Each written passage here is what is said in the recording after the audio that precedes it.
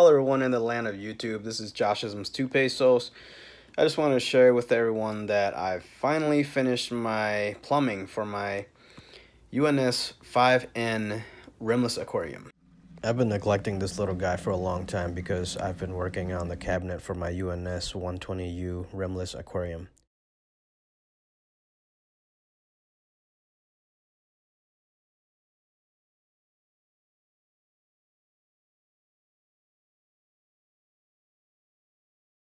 I installed the reactor before the filter so that it would have negative pressure.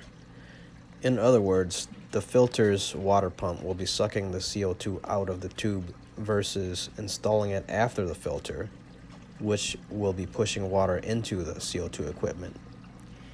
In theory, I wouldn't need a check valve because of the negative pressure. All check valves will need to be replaced eventually anyways, regardless of how good it is.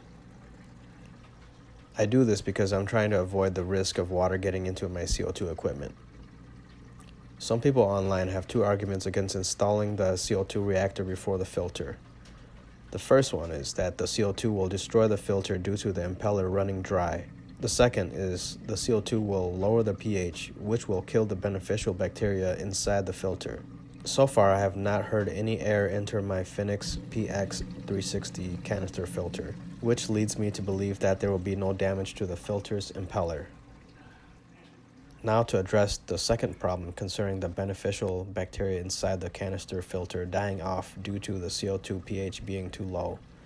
I doubt that the pH will be low enough to kill them off because the water entering from the aquarium has CO2 as well.